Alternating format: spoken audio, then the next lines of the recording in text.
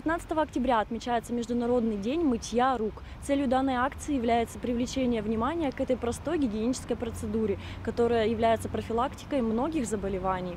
Но не только людям нужна профилактика, нашему каналу она тоже жизненно необходима. Поэтому сразу после нашей программы и до 6 вечера вы можете заняться полезными делами или подумать о прекрасном. Но уже в 6 вечера мы снова встретимся и расскажем новую историю молодой девушки Евгении, с которой происходят странные вещи. После удара током она начала видеть души умерших людей и теперь помогает им закончить нерешенные на земле дела. Сегодня она приходит на помощь Косте, тренеру по боксу, у которого случился инсульт. Простит ли его любимый ученик, узнаем в новой серии «Дежурного ангела».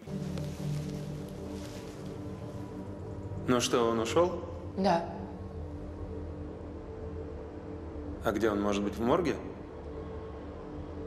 Нет, в больнице его нет вообще. Вы молодец. Быстро осваиваетесь в профессии. Предпочла бы кардиохирургию. Ой, да ладно, перестаньте.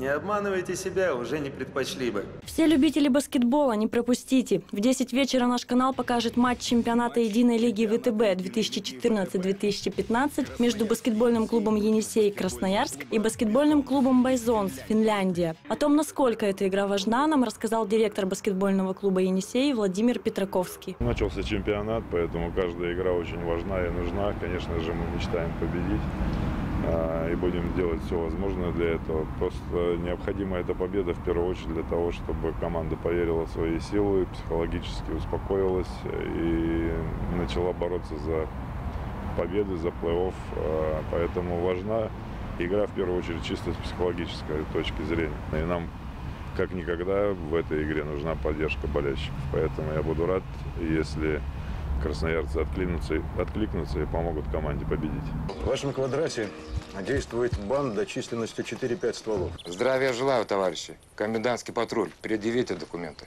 Покажите мандат. Смотрите.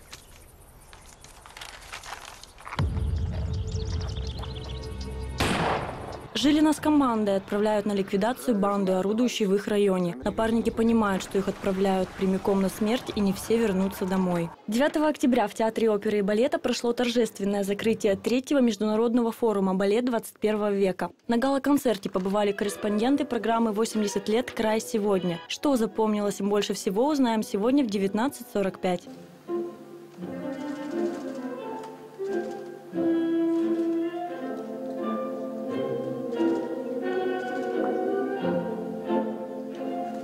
Не забудьте включить наш канал в 6 вечера, а уже в 7 часов вы узнаете самые свежие новости города и края от корреспондентов телеканала «Енисей».